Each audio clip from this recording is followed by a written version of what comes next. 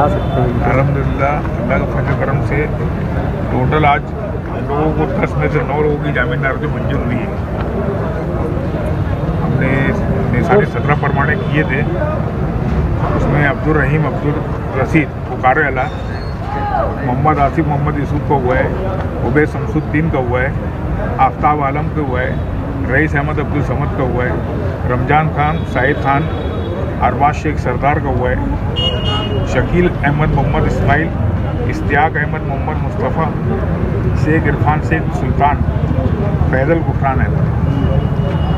ये लोगों को रूल ऑफ़ पेरिटी के ऊपर कोर्ट ने बेल दी। इसी तरह हमारे दो दो अर्जी और पेंडिंग है, जिसमें नौ लोग बाकी है। और ख़ास तौर से उसके अंदर जिया मुस्कान का नाम इंशाल्लाह शाम तक उसका भी आ जाएगा। और उम्मीद है कि पहले रोज़े तक सब लोग बाहर आ जाएँगे। मुस्तकिम भाई, आप क्या कहना चाहेंगे? आज चौहत्तर नंबर में बेल एप्लीकेशन मंजूर होने के बाद एक बड़ी तादाद में बेल एप्लीकेशन मंजूर हुआ। कुल तीस लोगों का बेल एप्लीकेशन था, जिसमें से उन्नीस लोगों का मंजूर हुआ है। और कुछ अभी फारूक मेहमान साहब बोले, कुछ पेंडिंग है जो शाम तक फैसला आएगा। पंचहत्तर नंबर में 26 लोगों का ऑर्डर होने के बाद, क्योंकि उसमें एक बड़ी तादाद चौहत्तर से में भी अटैच थी, इसलिए रिहाई मुमकिन नहीं हो पा रही थी। मगर आज चौहत्तर में होने के बाद एक बड़ी तादाद में दो दिन के अंदर इंशाल्लाह रिहाई होंगी। और इस पूरे मामले में अव्वल रोज से। मैं इससे पहले भी बोला कि यार हम लोग जेल में थे।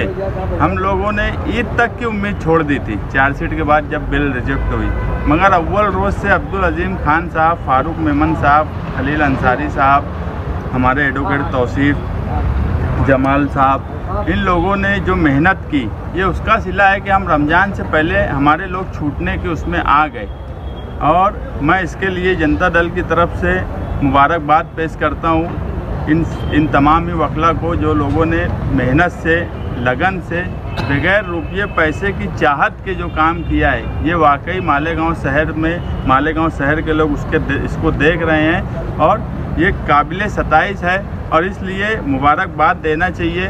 फारूक मेमन साहब अभी बोले कि यार इन सब बातों में कहाँ तुम ला रहे हो? मगर हौसला अफजाई भी बहुत ज़रूरी है। हम अगर इनको कोई फ़ीस नहीं दिए तो हौसला तो हमको देना चाहिए।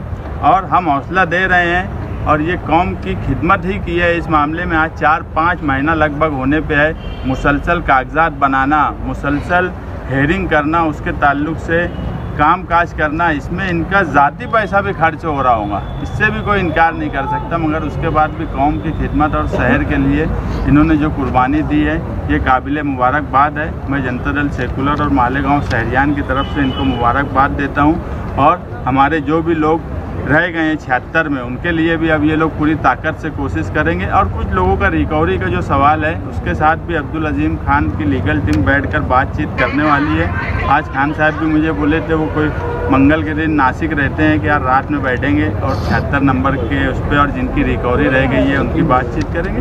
कोशिश यही है कि रमज़ान से पहले एक बड़ी तादाद छूट कर आ जाए और कुछ लोग अगर रह जा रहे हैं तो इन वो रमज़ान के पहले दस दिनों में कोशिश कर रहे हैं ये लोग कि वो आ जाएँ।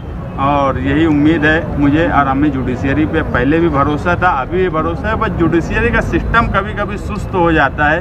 उस सुस्त सिस्टम की वजह से वक्त लगा।